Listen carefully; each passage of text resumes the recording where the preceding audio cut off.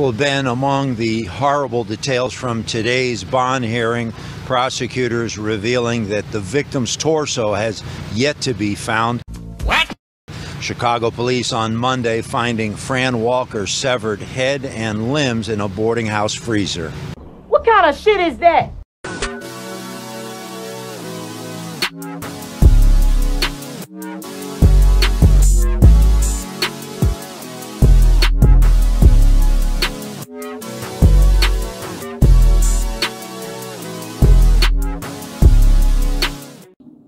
Today in court, a Cook County prosecutor told the judge Walker put an eviction notice on Kolalou's door Sunday and that other tenants heard the two arguing. The basement tenant heard the defendant screaming and what sounded like a dish breaking.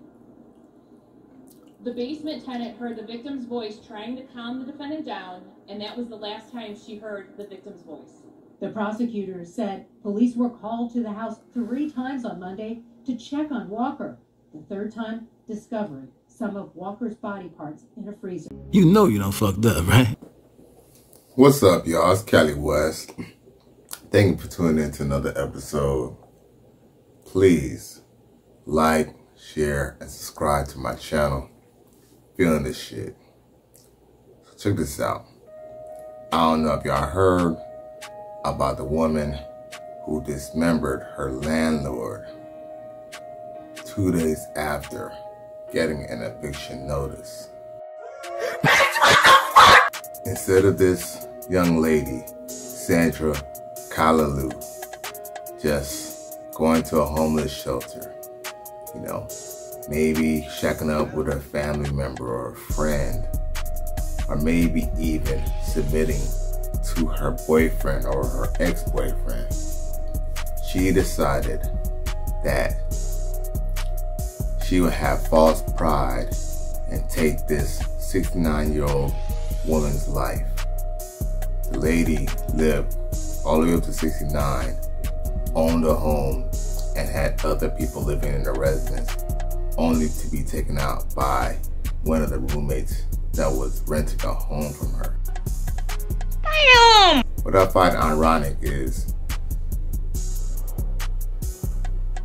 women like this when you meet them in the club, they're quick to say that you're broke, you know, just because you ain't in VIP, or because you pull up on them and you don't have a Mercedes Benz or a luxury foreign car. They want to say that you ain't got enough money for them.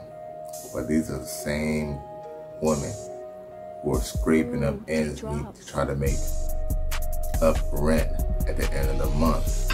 Oh, no. No. No.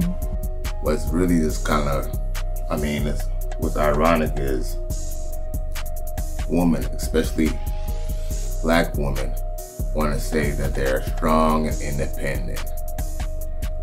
But if you were strong and independent, you wouldn't have, you know, women like this wouldn't have to be stuck in a hard place to go decide that she's gonna go and take a woman's life instead of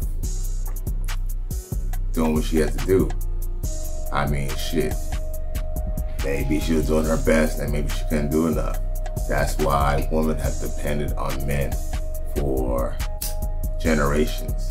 Because at the end of the day, you know, if a woman's not good with money, she might need a little bit of help from her man.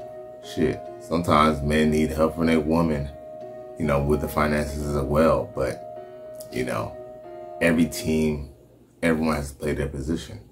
My nigga. Obviously, she couldn't be part of a team. That's actually why she already had prior charges in the past for, you know, domestic violence and things of such. She obviously is hard-headed she has a bad temper.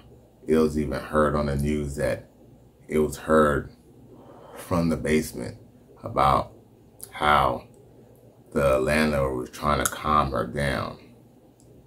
But that's the thing, when you deal with these basset hounds, there's no calming them down because they're all about emotion.